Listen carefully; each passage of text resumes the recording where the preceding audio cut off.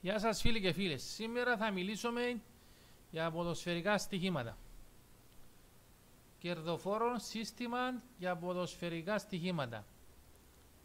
Διαλέγουμε 7 ομάδες που να πληρώνουν περίπου 2 ευρώ και πάνω. Χωρίζουμε το κουπόνι μας σε 3 ομάδες, σε 3 κομμάτια. Α, τοποθετούμε το, το στάνταρ των μπάνκων μας, όπως ονομάζεται. Β.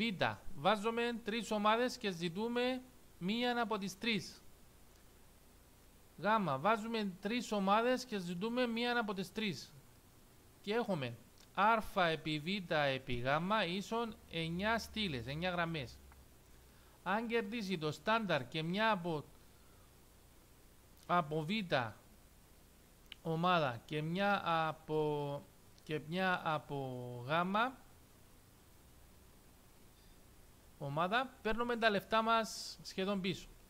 Το ζητούμενο είναι να βρούμε δύο ομάδες από, το, από την πρώτη ομάδα, από τη, sorry, από τη δεύτερη ομάδα και δύο ομάδες από την ε, τρίτη ομάδα. Ναι. Αυτό είναι, δεύτερη και τρίτη, ναι. Τότε έχουμε τέσσερις κερδοφόρες γραμμές με δύο χασούρες. Δηλαδή χάσαμε μια ομάδα που τη Β και μια ομάδα που τη Γ. Και ακόμα και να κερδίσουμε και δυο που δαμε, που τη Β ή δυο που δαμε και μια που δαμε, έχουμε δύο γραμμές που διπλάζουμε τα λεφτά μας. Το σύστημα δεν χάνει, δεν χάνει εύκολα. Έκαμε το υποφαινόμενος και ε, ε, έβγαζα περίπου έναν 3,5 έναν 4. Έκανα τα λεφτά μου έναν 3,5 έναν 4. Μετά ε, δημιουργήθηκε το πρόβλημα ότι έχανα τον πάγκο.